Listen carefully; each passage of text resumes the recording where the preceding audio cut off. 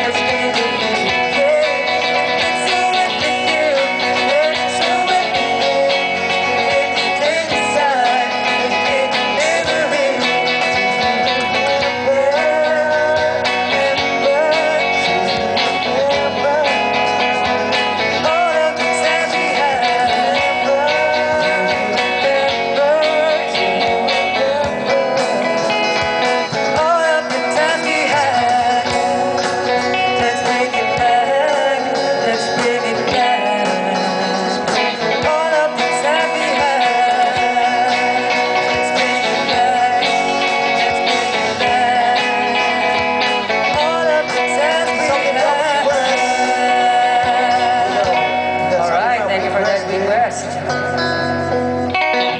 Our next song is Mad by